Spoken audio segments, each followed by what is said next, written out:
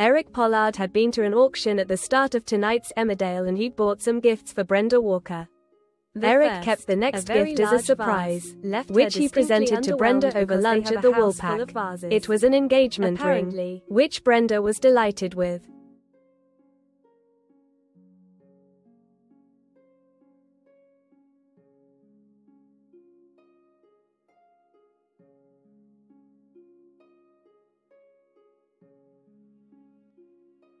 Although the couple have lived together for a long time, they only just got engaged after Eric went down on one knee to propose. They're planning a Christmas wedding as Eric doesn't want to wait, even though Brenda quite fancied a summer wedding with lots of time to plan the big day.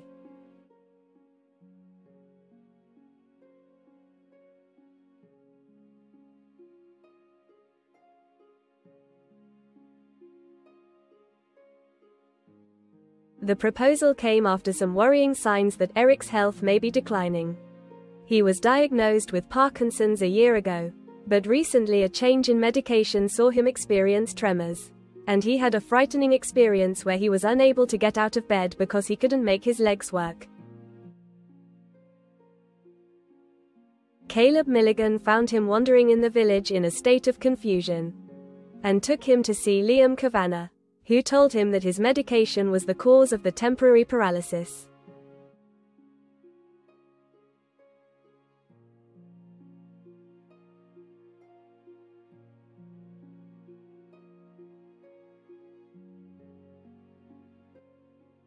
There have also been signs that his behavior is becoming more erratic.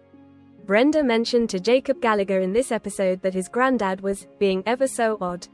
She said he was cutting her out of all the wedding planning and she thought he was keeping something from her.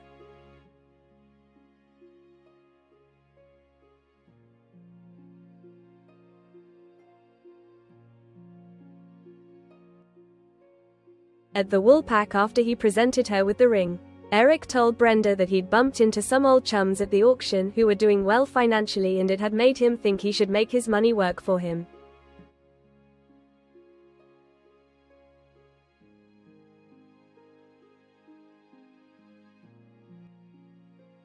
If that happened, they could go traveling and go to Canada to see Brenda's granddaughter Molly and her dad Nikhil Sharma. We have a new life to live as a married couple, he told her. New adventures.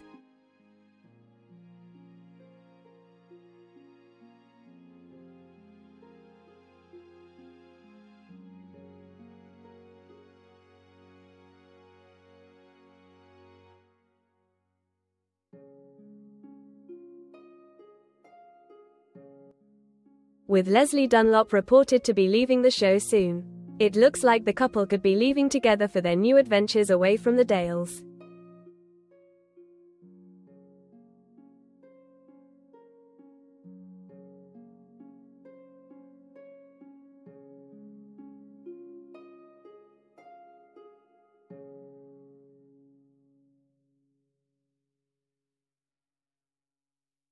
Lesley has been on the show since 2008. And in real life, she and co star Chris Chittell have been married since 2016.